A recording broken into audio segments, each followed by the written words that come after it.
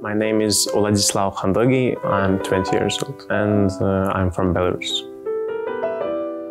I have uh, one older brother and of course mom dad. Uh, they are all musicians.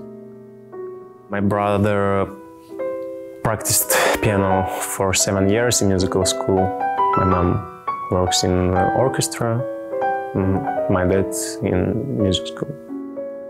When my brother practiced the piano, I liked how he played and uh, I tried to repeat melodies he played and my mom saw it in my dad and they took me to music school. My point was like to play for the audience. I, uh, I like music because of emotions it gives uh, to everyone, so that's why I choose the music. Music. I think it's not from from here, from the earth. I think it's in the air.